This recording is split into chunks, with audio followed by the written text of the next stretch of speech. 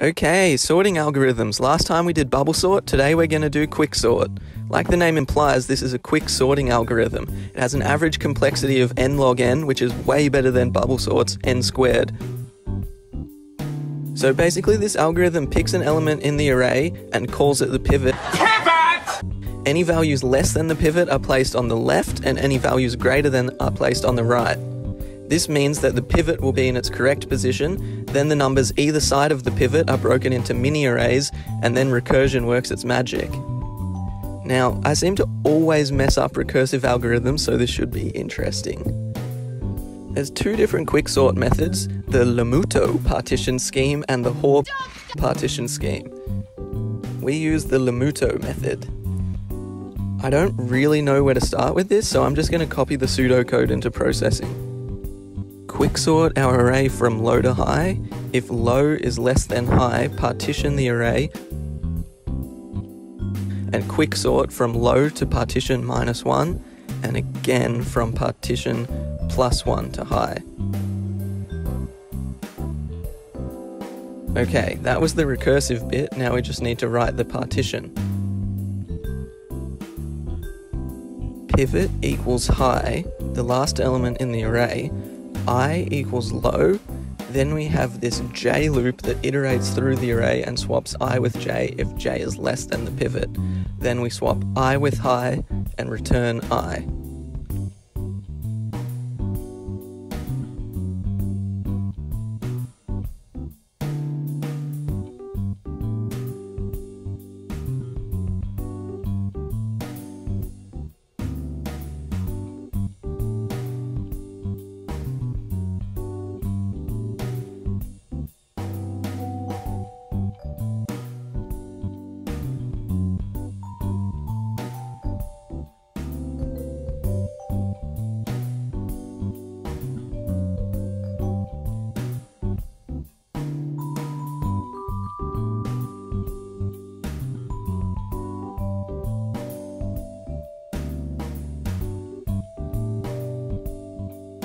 Let's run this.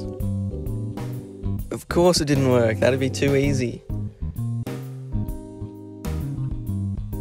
Array out of bounds.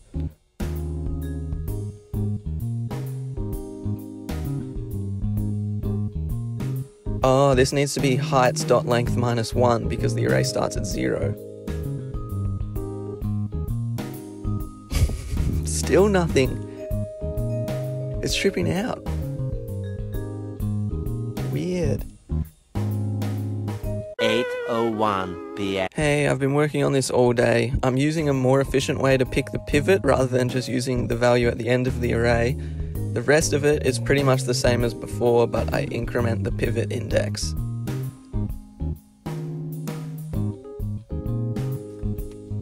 What is this? It's so close but so far. Ah, it looks almost sorted.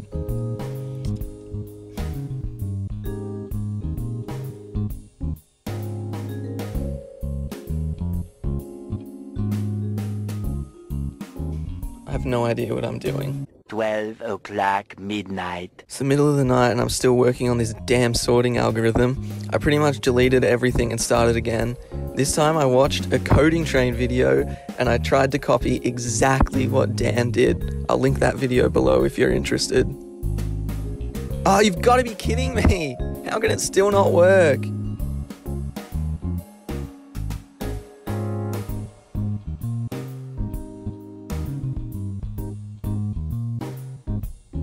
Oh, I don't think this is supposed to be here. Yes! Let's make it bigger.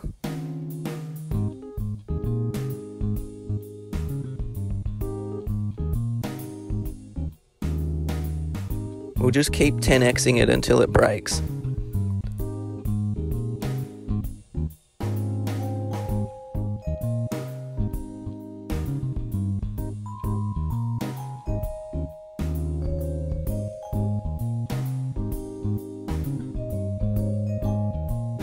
That one took some time.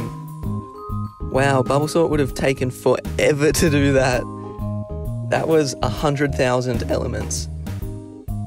Okay, it's a few days later. Now it's time to fix the problem that we aren't getting this thing to animate. It goes from sorted to unsorted. Sorry, it goes from unsorted to sorted in one step. That's because once quicksort gets called from the draw loop, the whole array is then sorted before we go back into draw again. A way around this would be to have a second array that keeps track of all the changes that have been made to the first array. The second array would basically be a log of what changes have happened to the first array and in what order. Then we can use the draw loop to draw the second array. I called mine sorted, and then we can just see what changes are happening throughout time. I tried using processing's expand function and the append function to dynamically grow the array as needed, but I couldn't get it to work how I wanted, so what I ended up doing was just making a stupidly big array that's empty at the start of the script, and then we fill it as we go. That was a bit quick to see much. We'll increase the array size to 200. That looks like it's working you can sort of see how the quicksort algorithm works. Yeah, so the problem with making a second array is that it keeps track of all the changes, so it needs to be ridiculously massive, so it's only viable for visualizing sorting small arrays.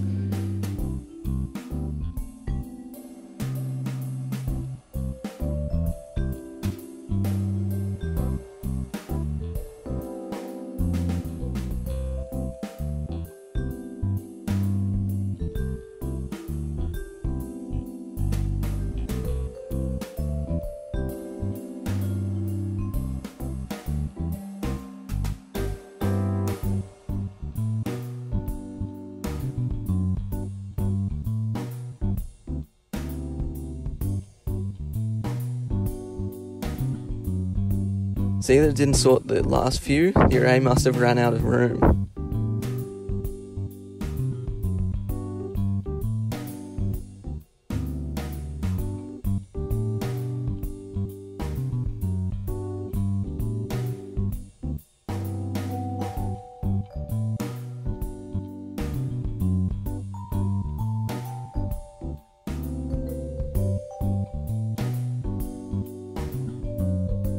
Okay, so we successfully visualized an array size of a thousand. That's not too bad.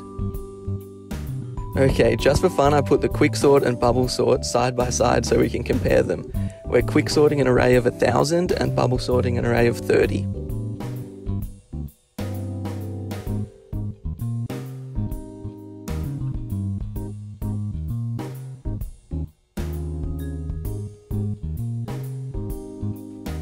See you next time.